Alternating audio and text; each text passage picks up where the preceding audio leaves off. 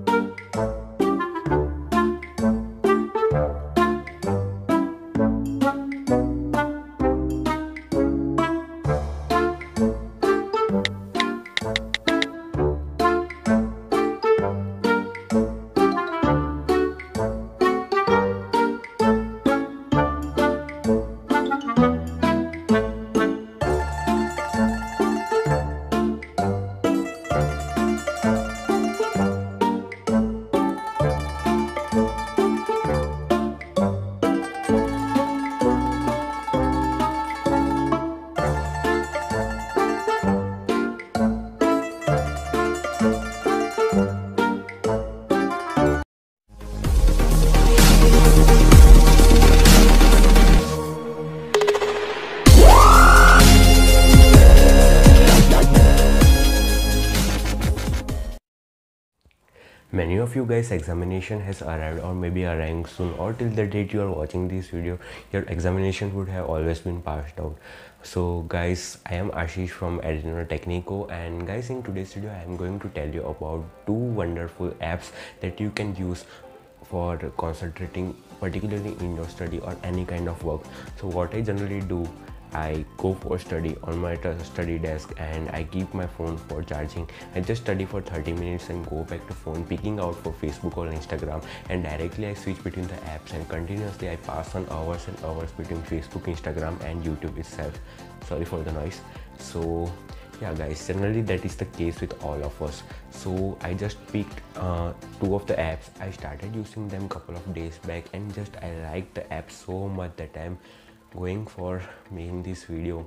So guys this is your host ashish here from adreno technico and let's get started. Hey guys as you can see that the first app that i have downloaded is the stay focused app. Now you can download the app directly from the play store. Basically you need to grant all the permissions like the accessibility screen overlay etc i am using an oppo phone so that's an obvious issue and if you're using an android one smartphone then it won't be an issue. Now you need to click the icon or the app which you want to block for a specific period of time. You will get certain options like strict mode and legal mode and all legit modes. So basically i will be selecting the quick mode. So as i want to show you a demo of how this app works you can select the limit or time period for which you want to block the app which you doesn't want to use during a study purpose. So as you can see there are three options usage time restriction time and the quick block. I will be using the quick block basically and i'm just showing you all the options the layout of the app. The app is the size of the app is only 2.8 mb so it isn't a great deal to download that app now selecting the quick block option I am selecting the time for which the app should be blocked. As you can see Adobe Acrobat is blocked guys. Now let me move to the app and show you how does the this app stay focused works on. As you can see I turn on the Adobe Acrobat and you will see a certain kind of notation or a good quote or let's say a motivational quote will pop up out here and as you can see I won't be able to access any content of the app even you can see that as I as soon I touch the screen some advertisement may come or let's say white background will come. And you can download this app directly from the play store.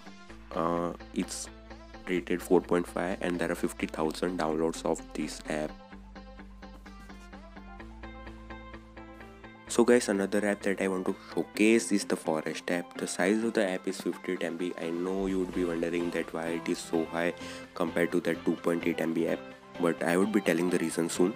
Now as you can see that you get a circular disc interface around the sapling that you want to grow.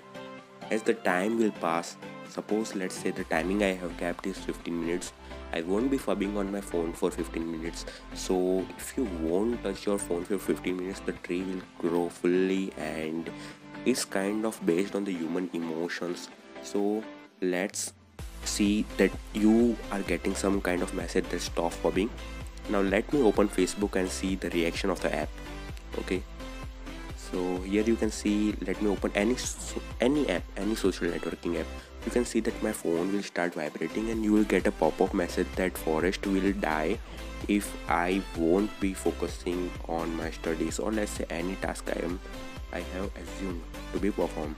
As you can see I just gave up and my sapling just died. Yeah. So it's basically on human emotions. If you don't want the sapling to die you will basically study hard. Okay. So hey guys as you just saw so hey guys as you just saw in the video I have kept the link for downloading both of the apps via Play Store in the description box below. Let me give you the honest review of both of the apps. The first app that was the Forest app basically is a kind of large size. If you are using a 2GB RAM phone that it will heat up your phone basically but nowadays it isn't the case basically i would recommend forest forest app basically more because uh, that app uses ai of your smartphone processor basically the snapdragon mediatek or samsung exynos processor. So basically what it will do suppose you set the timing for 50 minutes for any of your work. Sorry for the voice if you set up timing let's say 50 minutes for any of the work you are going to do let's say study work or any kind of work then the next day you will be going to the app. It will again set the timings to 50 minutes itself and it will recognize your daily schedule based on the monday to saturday timings you are having and the next month or the next year you'll be using the app. It will be quite familiar to you. You'll also get daily motivations like don't uh, stop phubbing and just go back to your work go back to your desk whatever message you can set for it. Now the another app that is the stay focused app that is basically only for study purposes uh, the size of the app itself uh, is around 2.8 MB that doesn't uses any kind of uh, AI that just uses smartphone triggers. And as soon as uh, you will go to the app that you have locked it will just show some kind of motivational quotes that go and focus on your goals itself as I am focusing on YouTube itself. So that's the kind of thing uh, both of the apps. I will recommend the Forest app more, but if you're kind of saving storage space on your smartphone, then you can go for the Stay Focused app that uh, I will leave the link in the description box itself also. So guys, this was all for today's video. This is your host Ashish here from Adreno Technico and if you end up liking this video, please press that like button and also subscribe to my channel and press that bell icon so that you can get daily notifications of my channel and I would like to or I would try to post sorry I would try to post videos every week and that's all. So I hope to see you in my next video